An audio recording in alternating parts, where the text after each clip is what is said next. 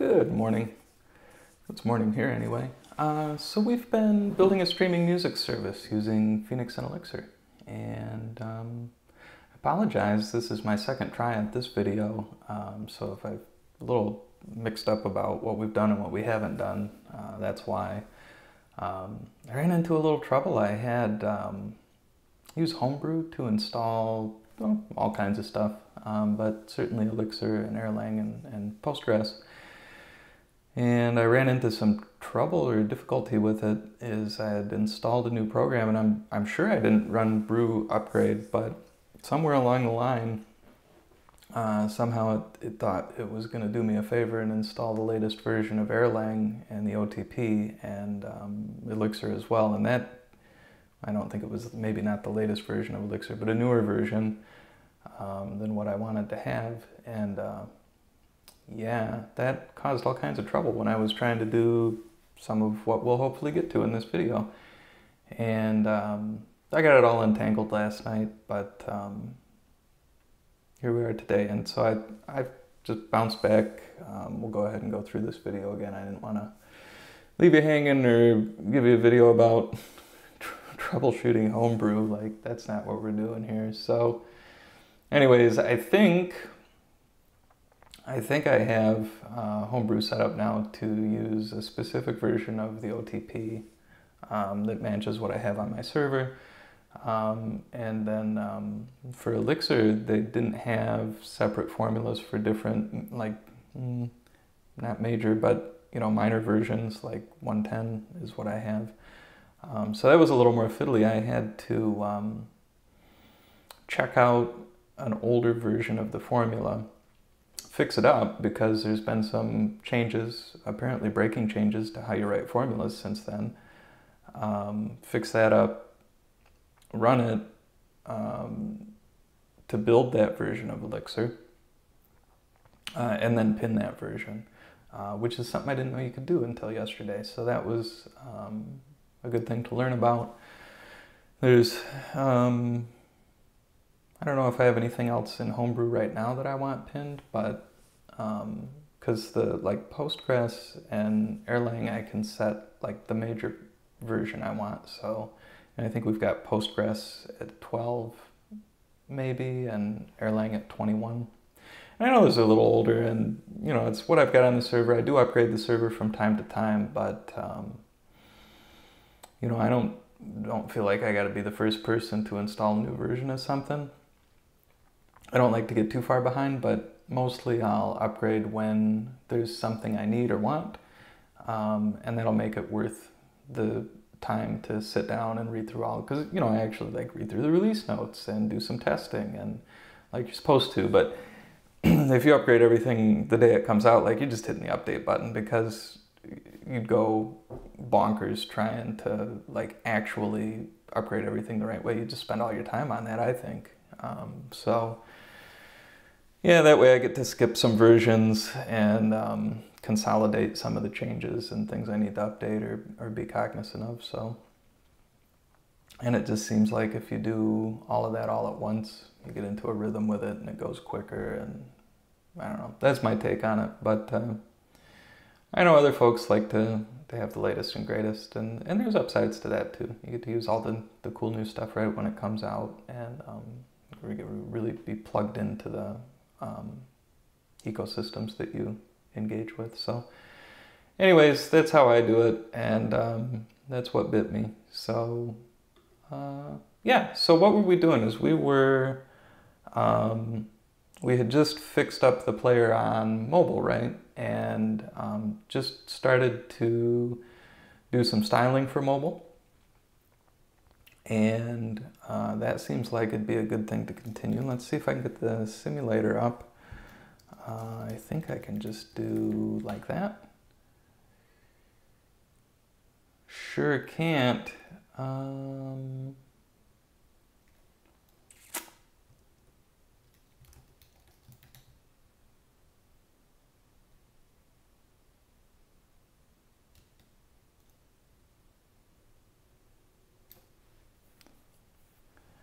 it comes.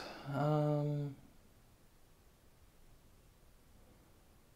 And then once that's up, um, we'll connect the um, debugger to it, the um, developer tools, you know, in Safari.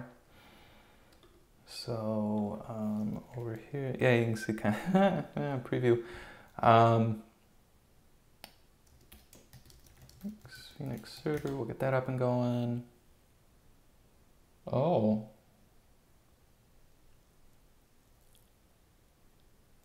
So, oh, okay, I gotta fire up Postgres. Right, I rebooted the computer. Speaking of updates, I had some software updates to do. And I restarted my computer. I know I could set this up to start with the computer, but I don't. There we go. Okay, so that's up and going. Let's reload. Okay, so that's what it looks like now, which, you know, actually works. It's just tiny, you know. Um, but we can do better. So, yeah, I see uh, some other stuff. You're not ready for that yet. Uh, is there a, where am I? Move to trash, okay. Yeah, we'll get to that. Um, so we want to look at the player and we want to get the uh, developer tools connected. Uh, that's the one. Cool. All right, so that's pretty handy. Um, now, something I lost in bouncing back to an earlier commit is I know we had in the last video started to do like the media query and stuff, or the media, the app media like this. So won't uh, dwell on that too much this time. I think I had something like um, max width um, 40em. Does that sound right? And then we had made all of these sections um, uh, unpositioned and um, what we had to get rid of the padding on them, right? Because we had padding.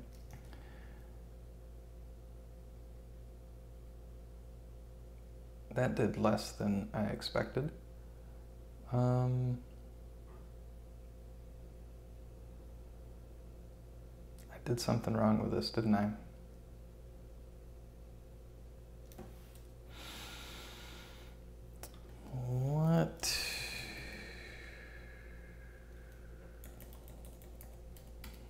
Did I get the syntax wrong? Um,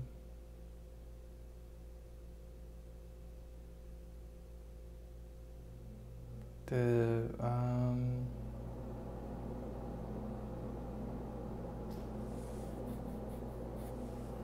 what? Uh, what am I missing here? I'm missing something important. Um,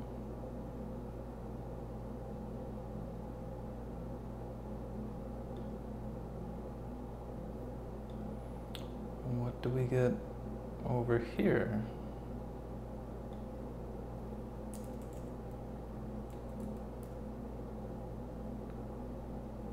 Um,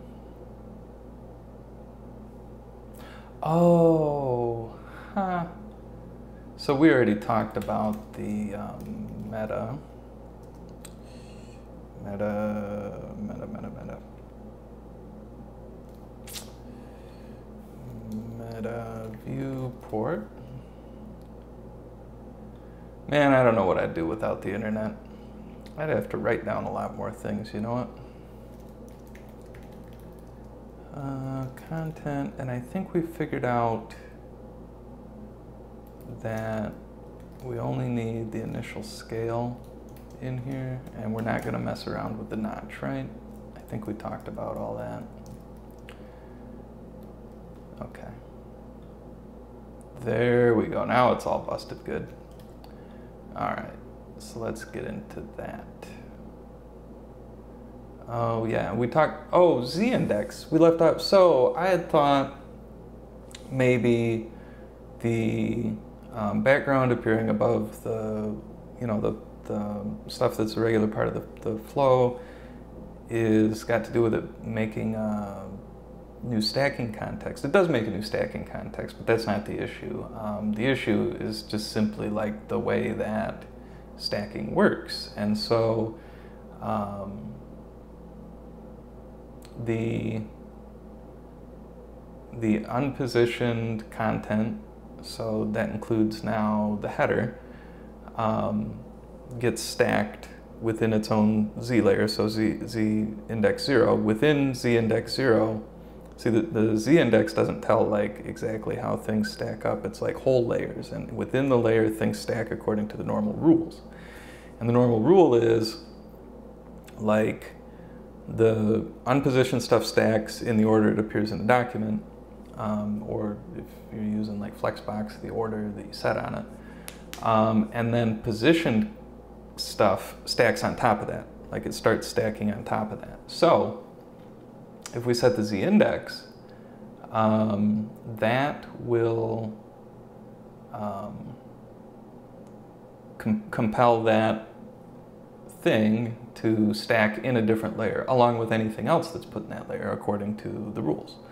So the background, we really had ought to have put background image in the background. So really we ought to be setting the z index here and make it always be below um, z index 0, the, the default stuff that's getting stacked, um, where wherever. Now, I want to put a note here um, because on desktop, this z-index isn't strictly necessary because we put the background image element first and everything's positioned. So normally it would come at the bottom of the stack up without the z-image, uh, or z-index, sorry. Um,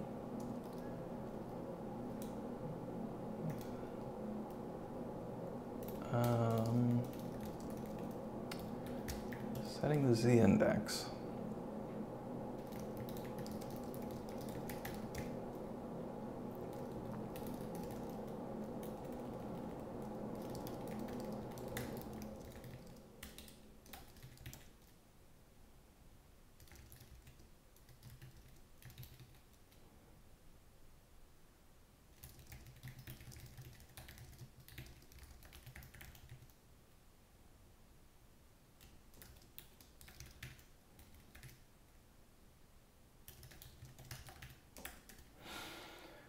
Yeah, so that's that'll hopefully keep me out of trouble later when I'm like, but you don't need this, and take it out and see it works fine, but don't check it on mobile. You ever done that kind of thing?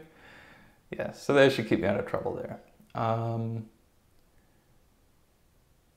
oh, and so the other thing we need to do is um, set the width back to auto. Okay, so that's um, the text aligns right on the header, so that's why that goes over to the right, and that's fine. Um, let's get the message to where it goes. Um, now, as you can see, like this is this is one of the downsides of using a monospace um, font is on mobile, it's not very space efficient for its readability. I think that's going to be fine. Um, oh, pardon me. Uh, I think that's going to be fine in this case, but um, it's a trade-off. You know, like we're getting the aesthetic I want, and um, having that grid of characters helps align some things and make them look nice. Um, but there is a trade-off to it, and that's in this case information density. Um, and I know the style right now is not to have high information density, but I'm not convinced by that in a lot of applications. In some it makes sense, um, but to just have it as a principle without considering the application, I'm not sold on. Um, but we'll see how that all plays out, see who's right. But um, I, I would prefer to have things where I need them. Now, it depends, you know, because like if something's really not likely to be used. Moving it off the screen could help, especially in an application where um, you're only going to use it once. You know, like a some some websites are like that. Like each user is really only going to come by one or two times, or very rarely, you know, a couple times a year or whatever.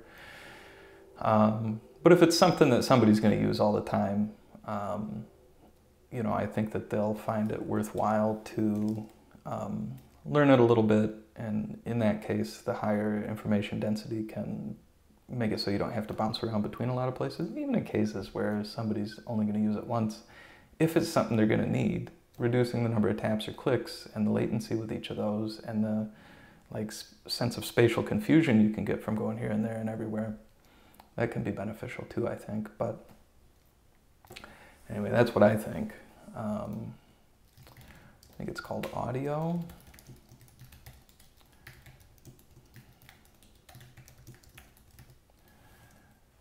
yep and um, we'll come back to that Okay, so there's a couple of things. One is the spacing between the sections. You can see we have spacing between the paragraphs here. And this up here is adequate, like for whatever reason.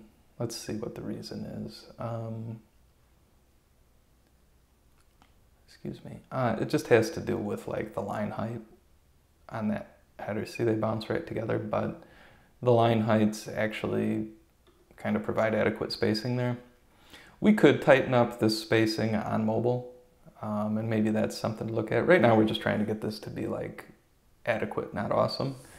Um, I I think either or both of will improve this in the future to make it a really first class experience on mobile, um, and or we'll make a mobile app, right?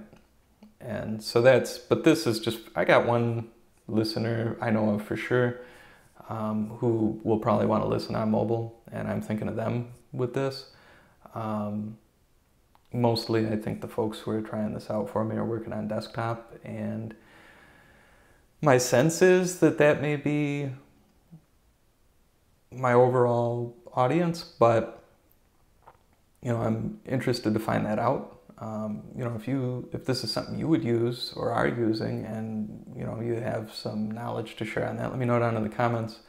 Um, hopefully, in a future video or series of videos, um, I hope to talk some about analytics, and we'll build some in here because that's something I want to know. Is um, you know we've talked some about browser support and now mobile versus desktop. And I'd, I'd like to see that kind of information um, to make good decisions about what direction to take the service in. So um, we'll, hopefully we'll get into that in a, in a, later series of videos. Let me know if that's something you're interested in.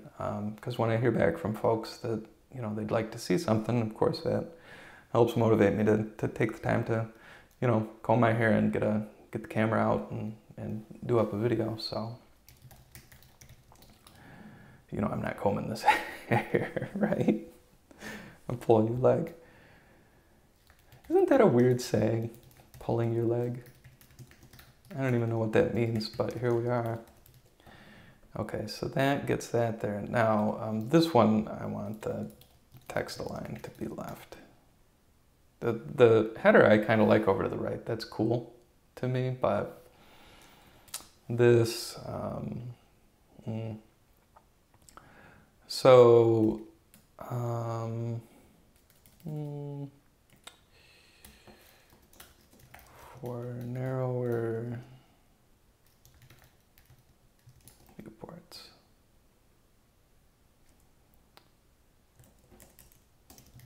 Basic optimizations for narrower viewports. So this is um, um,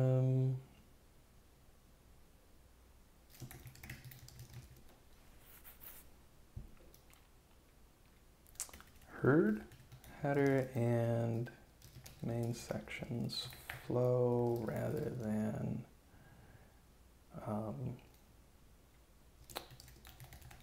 positioned. And yeah, we'll count, we'll count that. Uh, rather than be positioned, adjust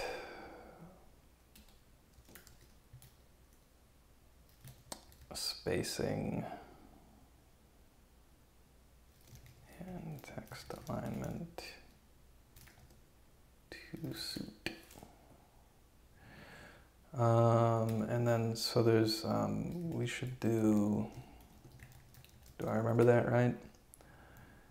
And margin top, 1em. Yeah, so that um, gets us that. Now, like I said, we could tighten that spacing up a little. Um, I'm fine with it for now. Uh, so let's come back to that button. And then there's one other big thing on here I think you probably see that needs to be fixed. And that's, see, we're scrolling. So we'll come to that um, pretty quick too. So make listen button more touchable. Because um, it's, you know, like you can hit that, that's a good tap target, but we could do better. Like that's not the size that a tap target would normally be on mobile, right? So let's, um, let's make the listen button an inline block. Um, and then we can say width is 100%, I think, and that should, yep. And uh, let's, uh, no, I don't want to set the, do I want to set the height? We could just set the height um, to 3em. Now that's a tap target right there. And we do have a little, you know, it's a little scrolly. I'm not too offended by that. We've still got the listen button like on the front, above the fold, as they say. Um, you know, and this is an iPhone SE. This is kind of towards the small end of like what kind of screen somebody's going to have these days, I think. Um, much to my dismay, I'm a small phone kind of guy. Um, but I think I'm in the minority on that. I think most folks have a much bigger screen than this. Um, so anyways, yeah, I'm not too worried if there's a little scrolling to see everything. Um, that's why I brought things, didn't just position everything. Um, so I'm, I'm cool with that. Um, let's um,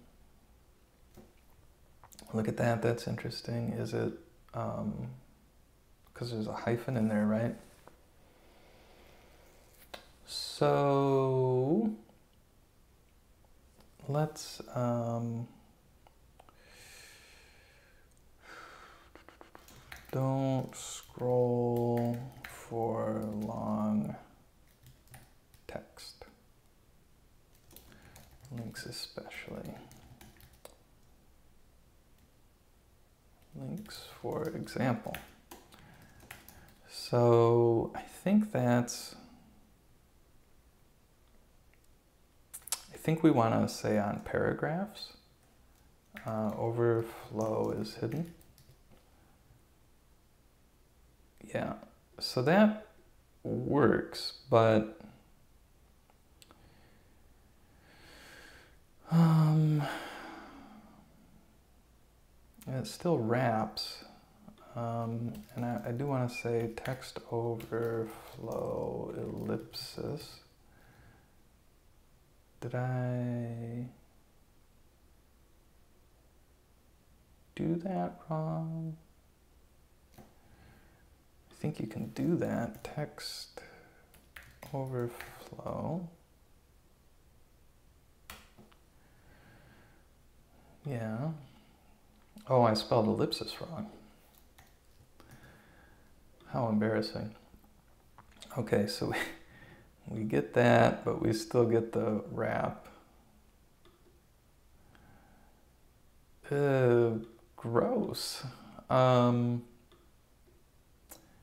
so here's what I don't know. Can I say that? I can. Okay. Uh, now that might cause trouble later,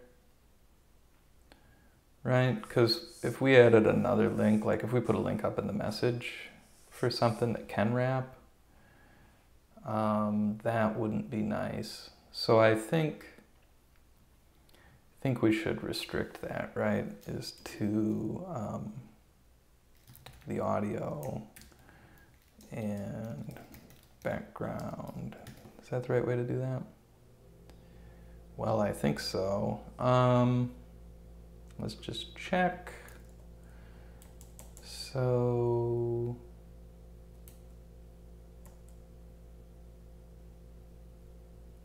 uh, audio link field. Oh, so maybe that's the right way to, let's say, audio link field and um, background link field. I think. Is that? Um, yeah, okay. Yeah, okay, so that works and that I feel better about. So that's more, we don't want to just affect every link necessarily, right? White space is pre, and I think, I think you can put white, like th that's, um, that doesn't have to be on like a block element, does it?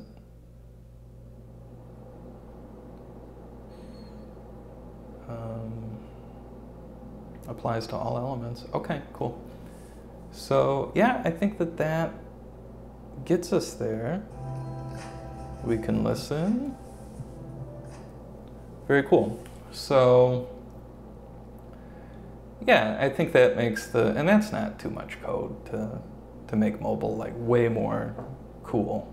Um, yeah, I think I like that. I think I'm with that. And um, I think that'll work for us to, to roll this out. So let's commit that. And uh, make player cool on mobile. Did, did I mention, I don't know if it was in the last video or if I'm telling you this again for the second time, but uh, I looked up that 50 character limit and as far as I can tell, like, it's just a suggestion. Like just, just somebody said that. Maybe there's some tools that, you know, cut off after a certain number of characters. But you know, uh, this tool cuts off after a certain number of characters and it just depends how many. It's not 50, you know? Uh, I think somebody wrote a blog post once and said shoot for around 50. Yeah. And so that's where the 50 came from, but isn't that funny? The way things come around? So, uh, oh, okay. So the another thing I did in the last video is we tossed a favicon in here. And uh, let's see. So I think we're done with the simulator. Um, and link, it's like link rel icon, something like that. No, no. Well, Who's this guy? This guy seems cool, right? Yes, we're not gonna do. oh, right, that's what he's talking about. So it should just be icon. Um, let's get that up here.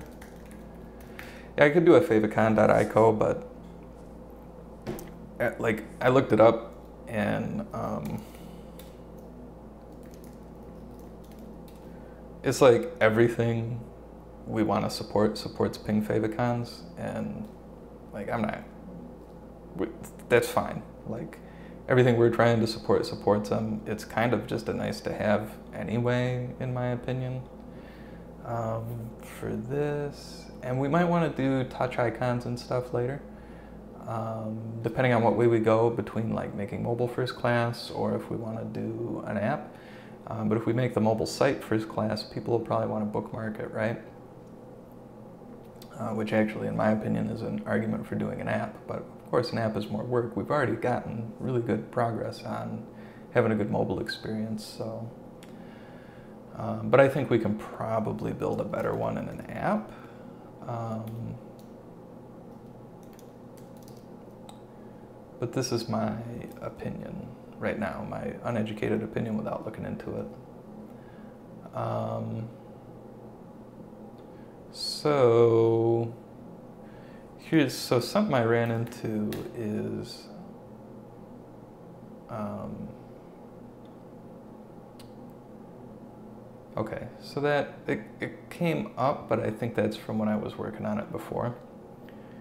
And um, that's not what I ran into with Safari is I actually had to empty the cache to get it to pull the because it had you know done the automatic um, request for favicon.ico at some point and gotten a you know like a, a 404 and had like cached that. And so even though the link was there in the document like it didn't go look at it. It had just decided like oh this doesn't have a favicon. So clearing the cache has got it to load.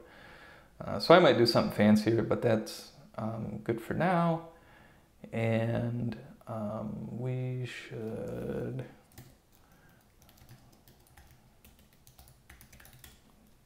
update the git ignore and get that out of there. Okay, and then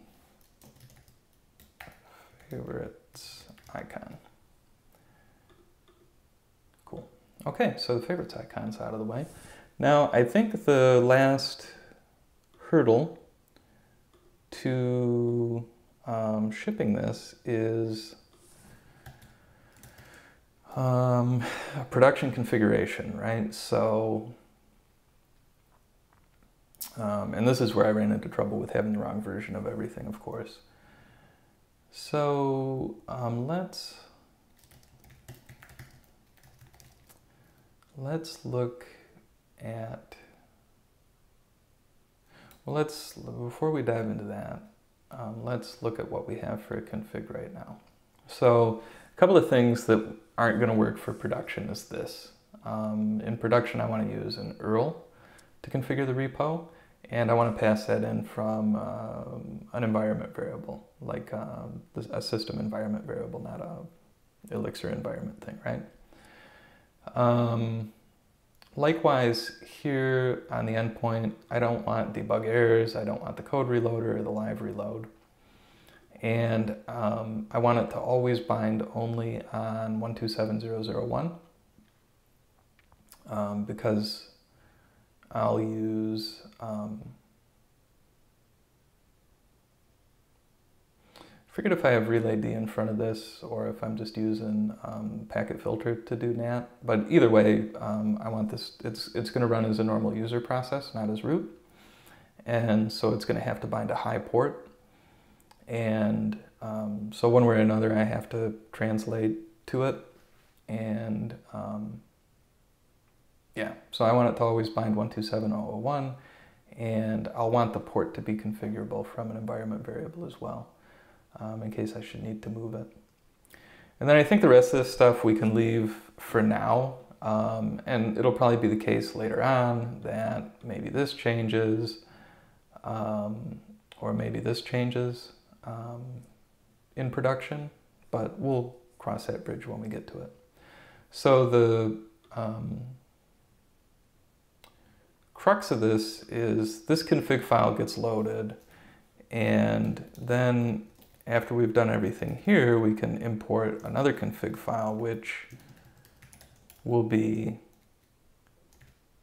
uh, the name of it will depend on our environment. So prod, dev, or test. Um, so then we can make uh, a new file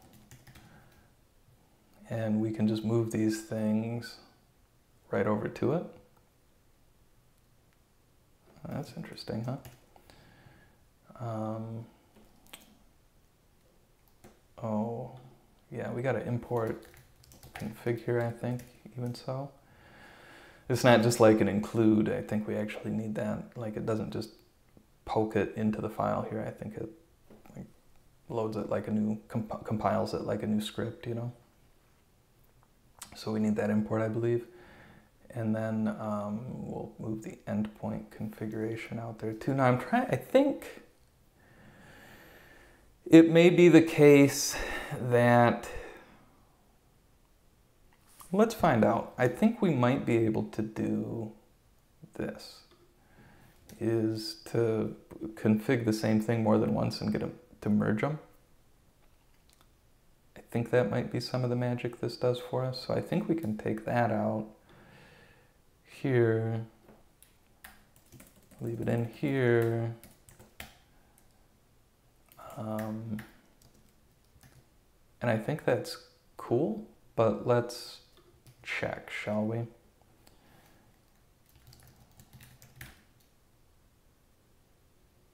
Yeah, so that worked. Um, cool, because uh, sometimes that's pretty handy to be able to configure some things here and some things there. So this, for a dev config, is cool, um, but we need to configure those same things in prod, um, and it'll be different. So um, here, we're going to configure it with an URL and um, we'll, we'll come back to what that looks like. In fact, let's,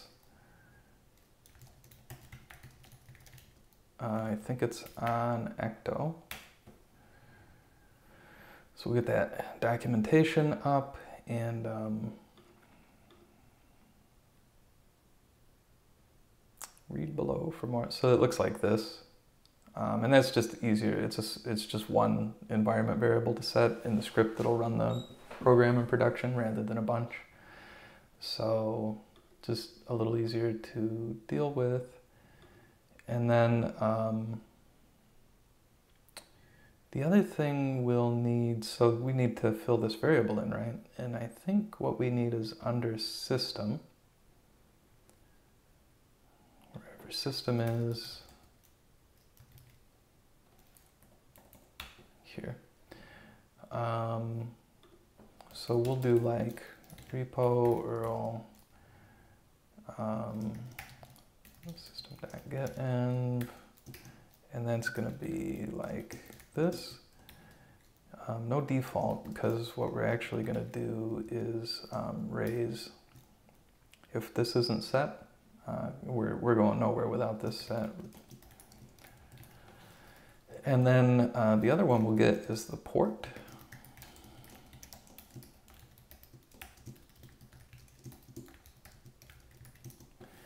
And uh, so this is going to be like, um, oh, is it string dot to integer? Yeah. Integer port. Okay. And um, I also want to set the IP address here.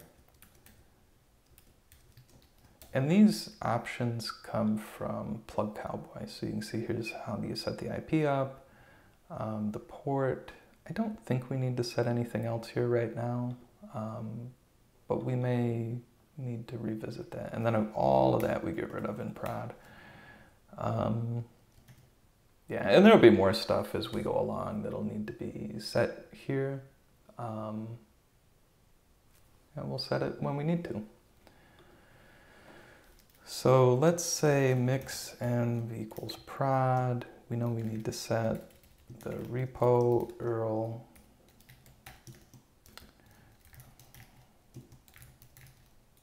um, what's that look like again? Is at, so it's kind of like a HTTP thing, a local host. Uh, and this is just called lo-fi limo. We'll actually um, change this at some point.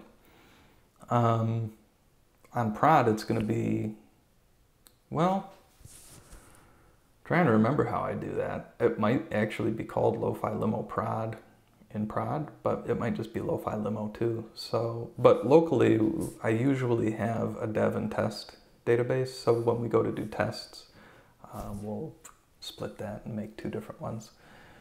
Um, but for now, it's just lo-fi limo, and then we need to set the port.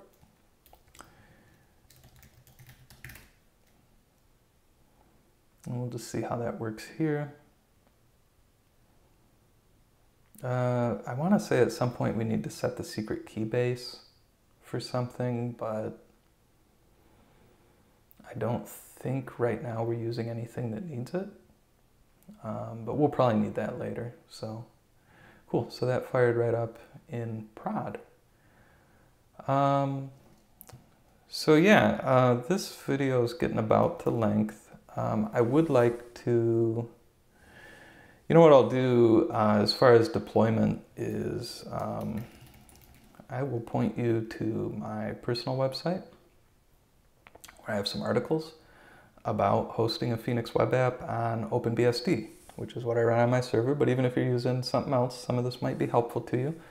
Um, the gist of it is I use tmux and I have a script that will start a tmux um, session, tmux session, I think, and um, create some windows in there. Windows?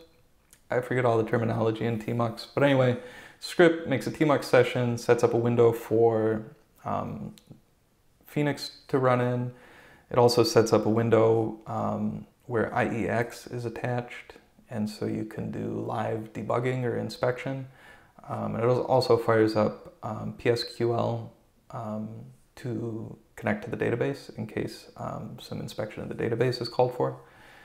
And I think it also spins up uh, shell in the application directory.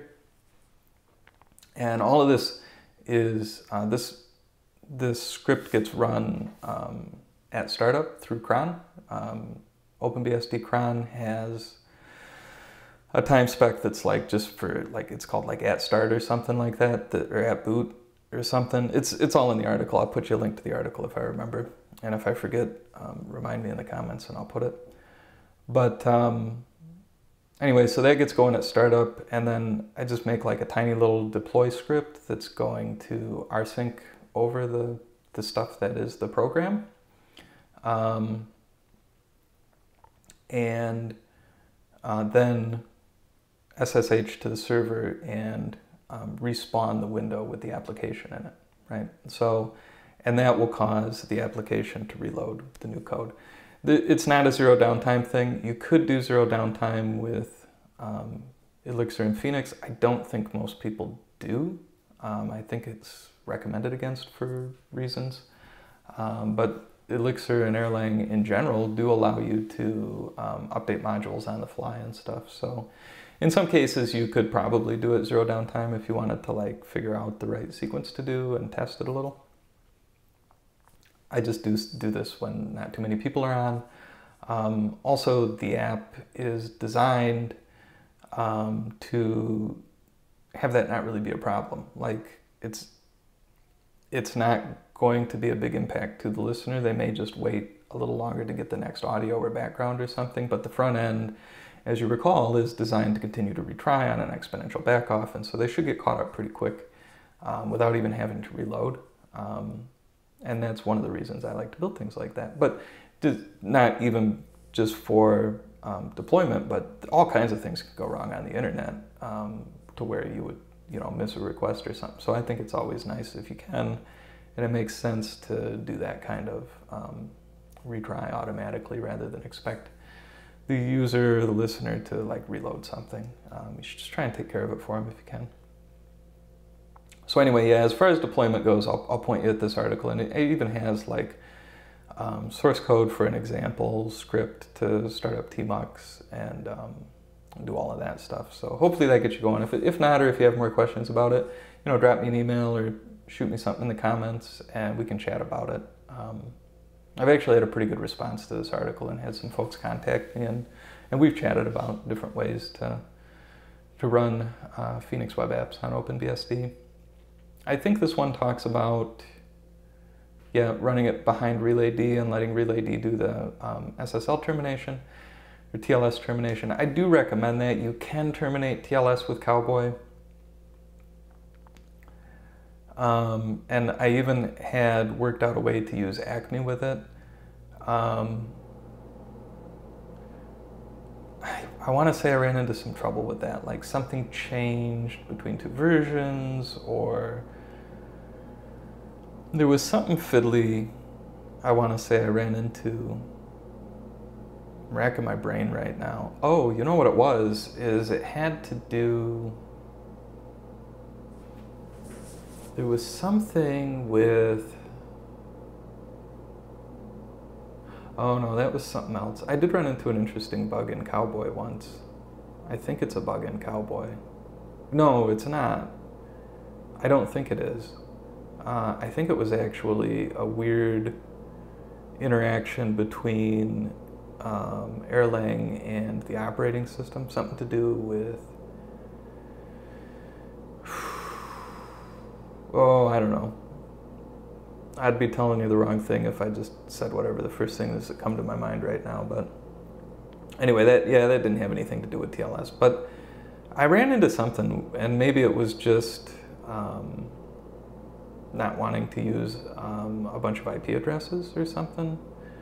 Um, but anyway, yeah, RelayD seems to work great to run a Phoenix web app behind the TLS termination, and it, it works pretty good with um, Acme Client. Think that's what, yeah, Acme Client. And anyway, this this all works pretty well, I think. Um, now, if you're not, if you don't want to use RelayD, you want to have one less moving part, you you totally can. As far as I know, um, have Cowboy do the TLS termination. Like I say, there's something in the back of my head. I might have run into something, but I don't think it was a showstopper. It might have just been something where I'm like, ah, I'm not going to mess with that, you know? Um, so you can explore that if you want, and I think you'll be okay. Um, but if you're going to run a bunch of apps, and especially if you're going to run a bunch of apps on one IP address, RelayD is a, a good option if you're on OpenBSD. So yeah, that's our thing. It'll be live by now. I'll probably have moved it live before you see this video. Um, of course, I, I, record the videos and then I gotta edit them, upload them. It takes YouTube a long time to process them actually, and it takes me a long time to upload them. I'm, I'm a little bit out in the sticks here.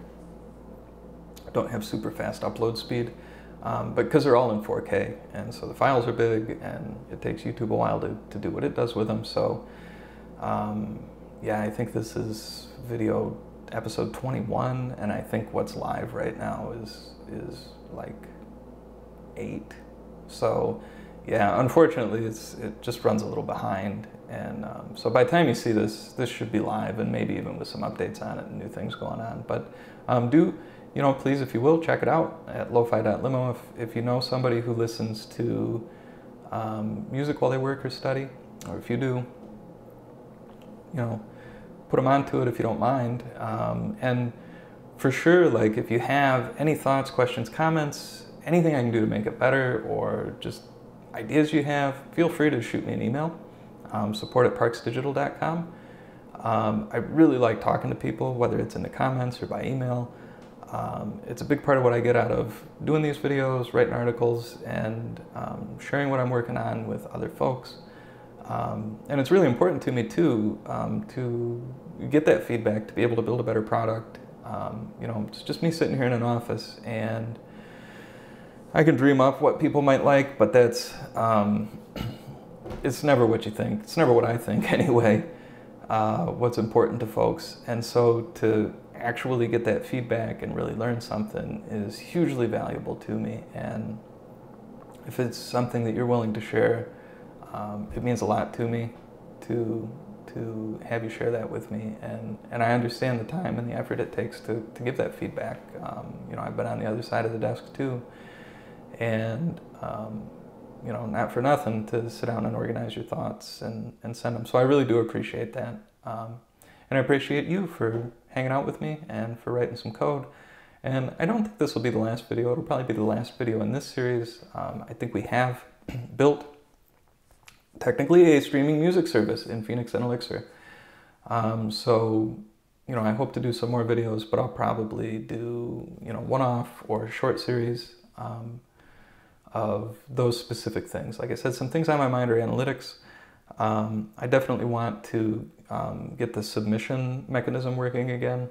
I've had that in previous prototypes, and that's been very helpful and important in helping me connect with artists who are interested in having their um, songs and backgrounds on the platform, on the service. um, and to help engage with those folks and give them an easy way to reach out. Um, email's one thing, but if you can just um, poke into a forum, I, I know a lot of folks are more comfortable with that and it helps get the conversation started. So I want to get that back in. Um, like I said, a few times we got to do something for mobile, and um, boy, what else? There's there's probably a lot more um, that we'll want to do. So, um, and maybe some of those things will be ideas that you share with me. So, um, again, thanks a lot, and um, we'll see you see you with whatever comes up next. Take care.